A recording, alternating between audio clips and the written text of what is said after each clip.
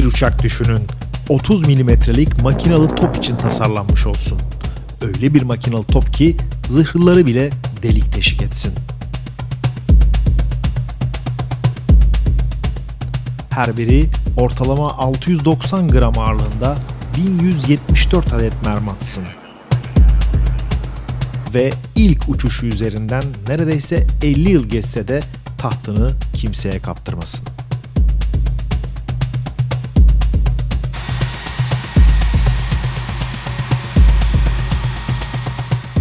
Kanalımızın en çok ilgi gören videolarından biri Türk Hava Kuvvetleri'nin de bir dönem ilgilendiği A-10 Warthog uçakları.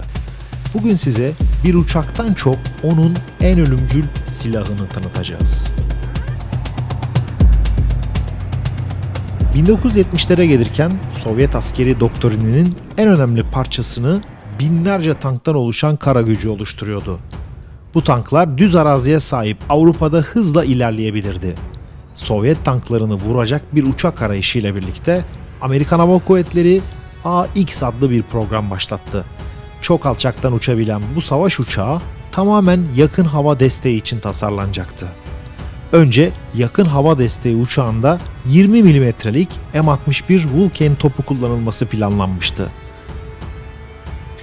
Ancak 20 milimetrelik mermilerin zırhlı üzerinde etkisinin az olması nedeniyle bu fikirden vazgeçildi. 30 milimetre tercih edildi. GAU-8 Avenger topu General Electric tarafından tasarlandı.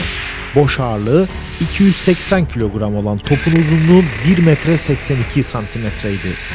Buna 2 metre 30 santimetrelik namlu eklendiğinde silahın büyüklüğü o yılların efsane otomobili Volkswagen'in Kaplumbağa modelinden daha büyüktü. Farklı görevler için farklı türde mermiler kullanılsa da topun ağırlığı tam yüklü 1828 kilograma çıkıyordu. Yani uçağın ağırlığının neredeyse 6'da birini oluşturuyordu. Top dakikada 4200 mermi atabilecek şekilde tasarlanmıştı. Namluda meydana gelebilecek şişme için 7 adet dönen namlu sistemi geliştirilmişti.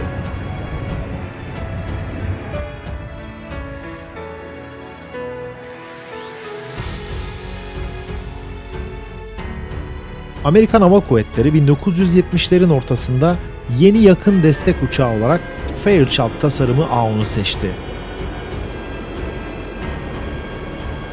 GAU-8 A-10 Warthog ile adeta bütünleşti. Topa yerleştirilen zayıflatılmış uranyum başlıklı mermiler zırhlıları delik teşik etmek üzere tasarlanmıştı. Her bir merminin ağırlığı ise ortalama 690 gramdı.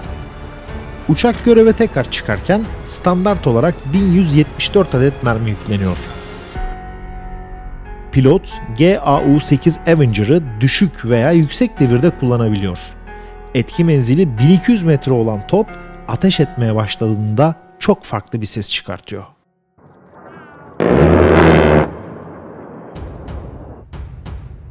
Etki menzili 1200 metre olan toptan atılan mermilerin %80'i 12 metrelik bir alanda toplanıyor.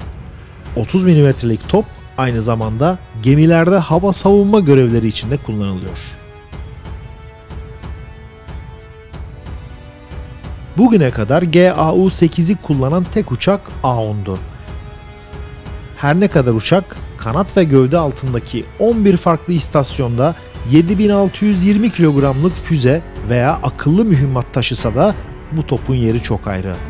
Bir de olayın yerdeki askerler açısından farklı bir anlamı var.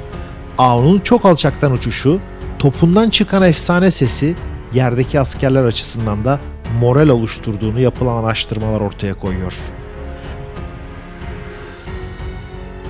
Her ne kadar yeni nesil uçaklar tasarlansa da Ao'nun tahtına birçok uçak göz koymuş olsa da hiçbiri Warthog yani yaban domuzu takma adlı Ao'nun yerini alamıyor. Geçtiğimiz yıllarda konu Amerikan Senatosu'nda da tartışılmıştı.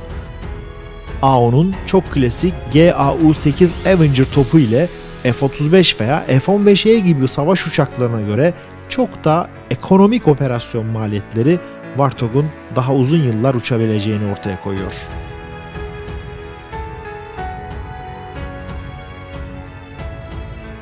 A10'larda son yıllarda en çok yıpranmanın meydana geldiği kanatlar üzerinde modernizasyon çalışmaları yapılıyor. Uçağın kokpiti yenileştiriliyor. Yeni imal edilmiş, güçlendirilmiş kanatlar A10'un 2030'lara kadar emniyetle uçmasını sağlayacak.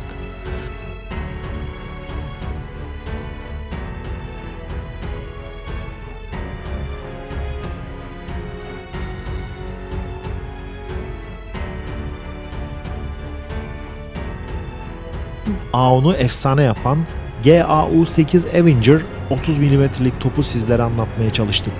Lütfen sorularınızı yorum olarak atın. Bize info.tolgozbek.com mail adresi üzerinden de ulaşabilirsiniz. Katıl tuşu ile kanalımıza destek verebilirsiniz. Detaylı havacılık haberleri tolgozbek.com sitemizde. Yeni bir videoda görüşmek üzere. Herkese sağlıklı ve mutlu günler diliyoruz.